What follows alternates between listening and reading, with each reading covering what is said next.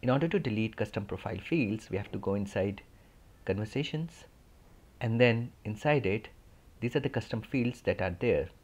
Let us suppose, suppose we want to delete age, custom profile field uh, from, from the profile.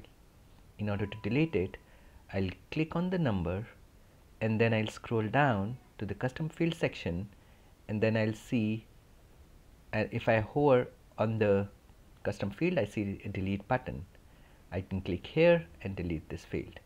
Please note once the field is deleted it is deleted for all other clients and the values that you might have in that field will also be deleted.